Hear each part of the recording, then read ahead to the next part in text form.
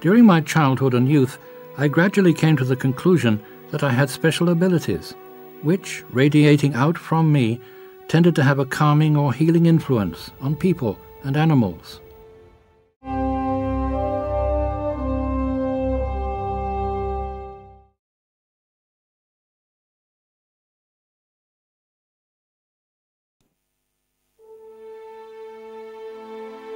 In the time that follows, more and more people wonder about Gröning's origins.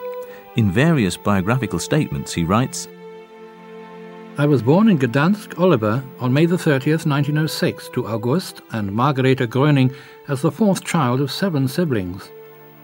During my childhood and youth, I gradually came to the conclusion that I had special abilities, which, radiating out from me, tended to have a calming or healing influence on people and animals.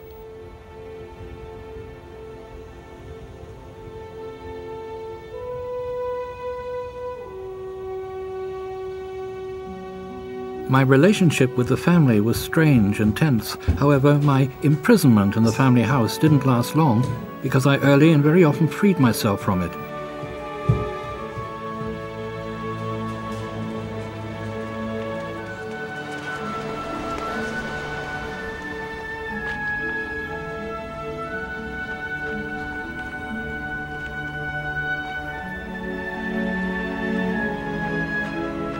The woods and my friends, the animals, were so strong that they kept pulling me toward them. There I experienced God in every shrub and every tree, in every animal, even in the rocks. After a short time there, I'd feel secure, for there I wasn't so alone. I also came to the conclusion as a child that animals usually considered shy or vicious were good-natured and tame when with me. I spoke with all animals. In short, we got along very well together.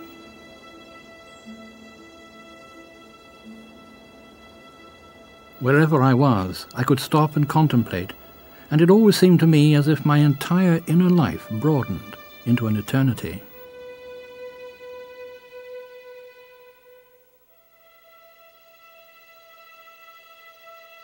In the family home, there was very little understanding towards little Bruno.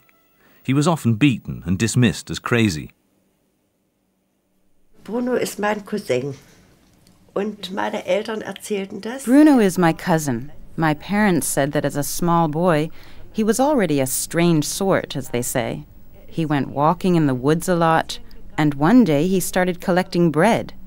His parents wondered why and he said that he had to collect and dry out the bread to bury in the woods because he believed, or that's what he said, that a war was coming and that they'd need something to eat. im Wald vergraben. Und weil er glaubte oder hat das auch gesagt, dass ein Krieg kommt, dass sie später eben was zu essen haben. Ja, und die Eltern His parents were surprised by that, but didn't think much about it because he was a little different from his siblings anyway.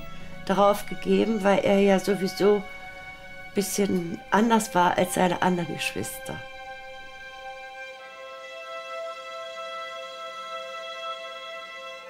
In an affidavit in the year 1949, August Gröning said of his son Bruno, he was even able to predict certain events, such as the beginning and end of the First World War. He also predicted the death of his mother, as well as the beginning of the Second World War in 1939. He saw and predicted it all. He also had a characteristic that enabled him to heal people from illness and relieve suffering.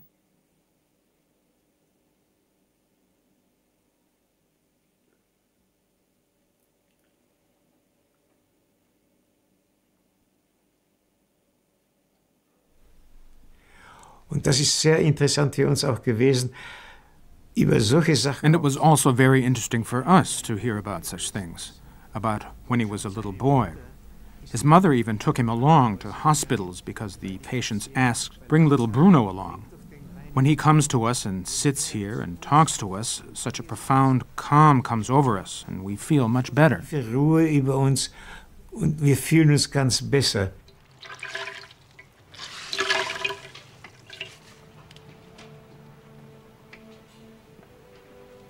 Mother, Can you still hear me?